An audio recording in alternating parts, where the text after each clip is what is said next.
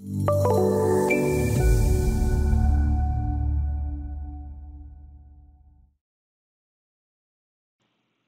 to Bentley Systems technical discussion on optimizing isolated footing sizes in STAAD Foundation Advanced.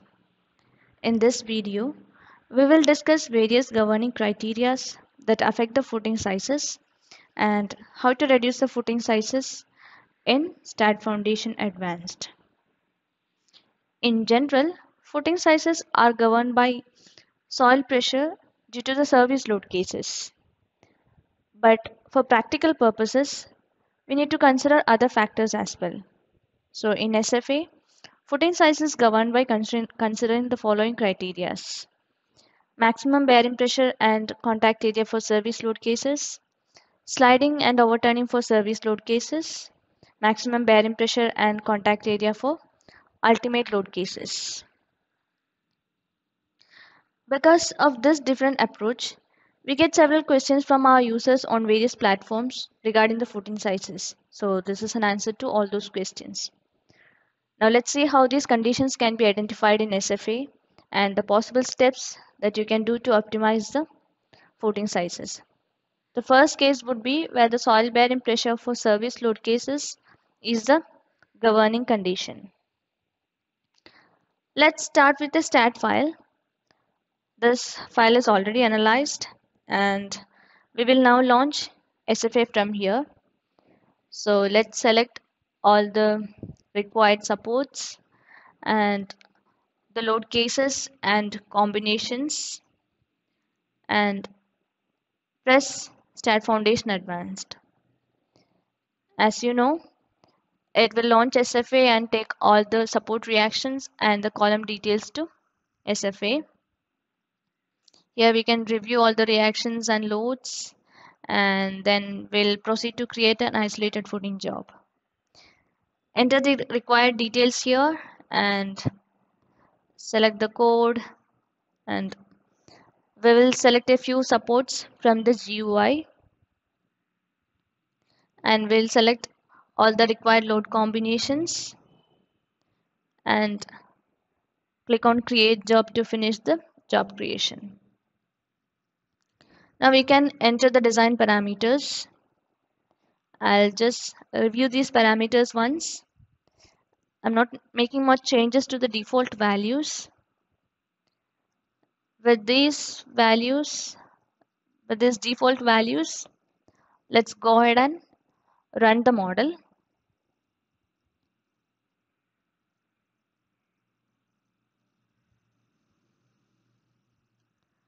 Now we have our reports with all the calculations. Let's open the summary results and see the final footing sizes calculated by the program for the default values. For footing number 19, currently the footing dimensions are 4.6 by 4.6.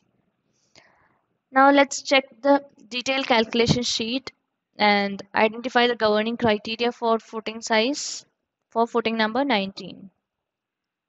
Here the Program reports the final footing sizes and the governing load cases. The load case reported for the plant dimension is 30. And if you come to the soil bearing pressure table, you will see that for load case 30, footing has the highest soil bearing pressure, which is uh, 118. And this value is checked against the bearing capacity value that we have entered in the program through cover and soil parameters. Now let's review this load case number 30 and if you see the load case number 30 is 1.5 dead load plus 1.5 live load which is a factor load combination or an ultimate load combination. Here the program is actually using all the load cases for serviceability checks and strength checks. The reason is that we have not segregated the load cases as service and ultimate and everything is a primary load case now. And if you go to the load case details you will find that all the loads are termed as primary. Now we have to segregate them as service and ultimate loads. I know that all my load cases uh, from 35 and the ones in the 100 series are ultimate load cases. So I'll tag them as ultimate. You can press shift on your keyboard to select multiple load cases simultaneously. And all my loads in the 200 series are my service load cases. So I'll tag them as service load cases. Now the program will use the service loads for the serviceability checks and the ultimate loads for the strength checks. Let's rerun the file with the segregated loads and look at the results. You can notice now that the footing size has been considerably reduced.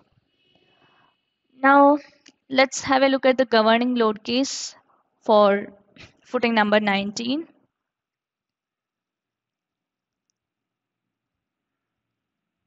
Here the governing load case is 203 which is a service load case and you can see that load case 203 is highlighted in the gross pressure table.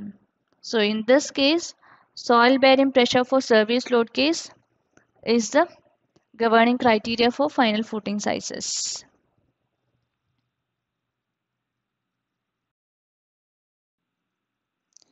Now let's look at the next condition where contact area for service load case is the governing criteria. Here in this file, the final footing size is governed by load case 218, which is a service load case. Remember all the 200 series load case were the service load cases in my job. For Now for load case 218, the footing is in partial uplift. Partial uplift conditions occur when the footing has small vertically downward forces and a large moment. SFA reported the area of partial uplift in this table. And if you refer to the cover and soil parameters, we have specified that at least 80% of the footing should be in contact with the soil. That means we allow 20% footing uplift. So here the program will try to increase the footing sizes to keep the contact area within the allowable. If you want to reduce the footing sizes, you can change the contact area percentages to lesser value. But um, the recommended lowest contact area percentage for isolated footing is 50% for service load cases. Third condition is when sliding for service load cases governs the footing sizes. Here let's look at the footing number 23 whose size is 4.9 by 4.9 meter. Final footing size is governed by a service load case and the load case number is 237. Scroll down and notice that 237 is not reported in the soil bearing pressure table. Move on to the sliding and the overturning table.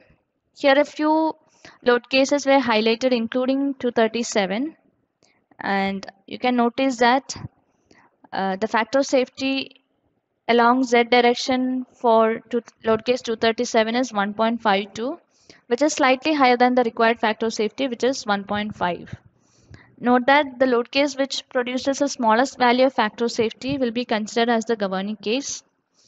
If the calculated factor of safety is less than 1.5 program will increase the plan dimension such that the self weight of the footing which resists the sliding will increase and the footing is stable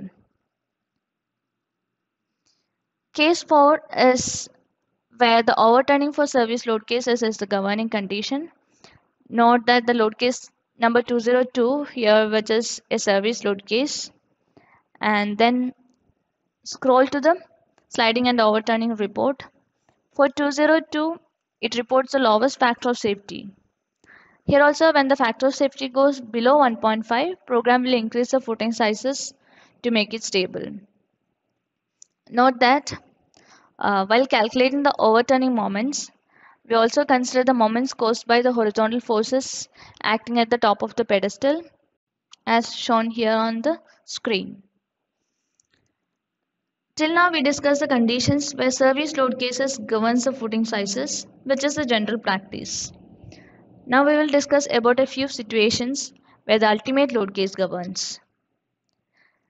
Factored or ultimate load combinations are used for final dimensions only if M by P is greater than 0.5 times the dimension calculated using the service loads for either of the two directions. Here M is the overturning moment and P is the vertical force at the center of the footing.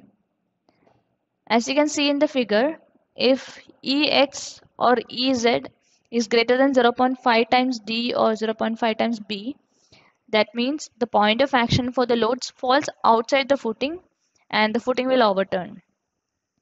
Bending moments and shear forces for the factor loads can only be calculated if M divided by P for those cases is smaller than 0.5 times the footing dimension. So program will increase the footing size to meet this requirement. Based on user requests, soil, pre soil pressure check and a contact area check are done for factored loads also.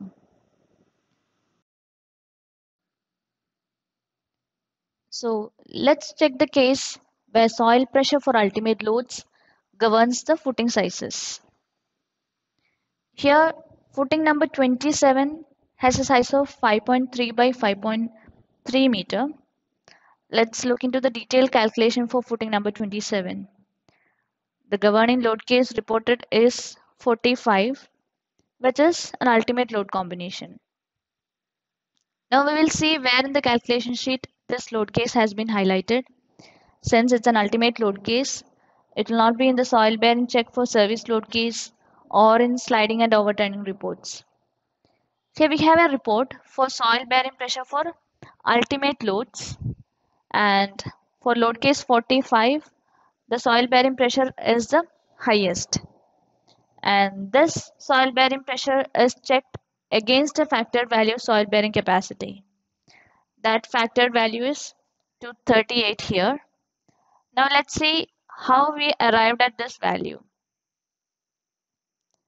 In the cover and soil parameters, there is a parameter called multiplier on soil bearing capacity for ultimate loads.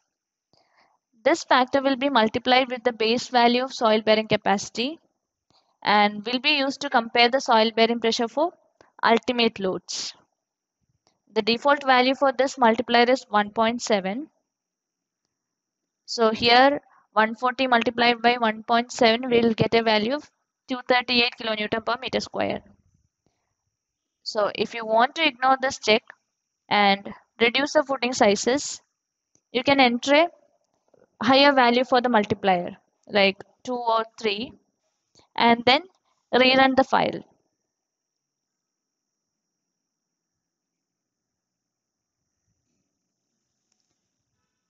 Now you can see that the footing size has been reduced and let's review the calculation sheet and see the governing condition now. Now the governing load case for footing size is 203 which is a service load case and the criteria is soil bearing pressure as you can see here. Coming to the ultimate soil pressure table, you can see that now the ultimate bearing capacity is 420 kilonewton per meter square, which is 140 multiplied by 3. And the program is checking the soil pressure for ultimate loads against this factored value now. This is how you can bypass the check for bearing pressure for ultimate loads and reduce the final footing sizes. Next condition is where the minimum contact area for ultimate load case governs the final footing sizes. Here the current footing size is 2.9 by 2.9 meter and if we look at the governing load case it is 122 which is an ultimate load case. In the soil bearing pressure report for ultimate load cases you'll notice that the final the footing is in partial uplift on the left corner where the soil pressure is reported as zero. It also reports the footing area which is in contact with the soil.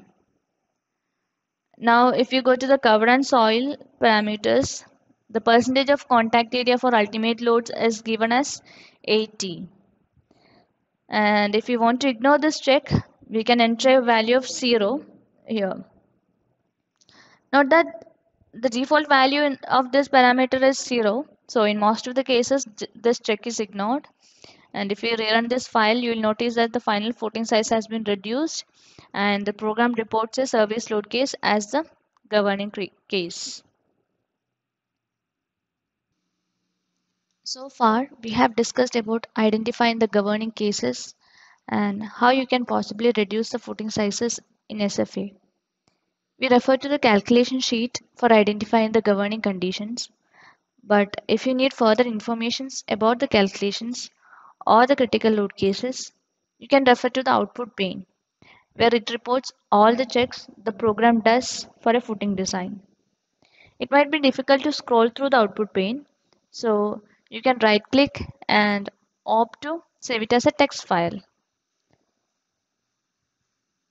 Now let's open this file in a notepad and here you will see the detailed steps for a footing design. First comes the serviceability checks. You can notice that the initial footing size was 1.5 meter and program increases the footing size to 1.7 meter for load case 207 to meet the soil pressure checks. Further, it increases the footing size to 2.5 meter for load case 211. After the soil pressure checks, it does the sliding and overturning checks. Then goes on to the strength checks like one-way shear and punching shear checks. And further, the design is done. So using this text file is another way of finding the governing criteria for footing design.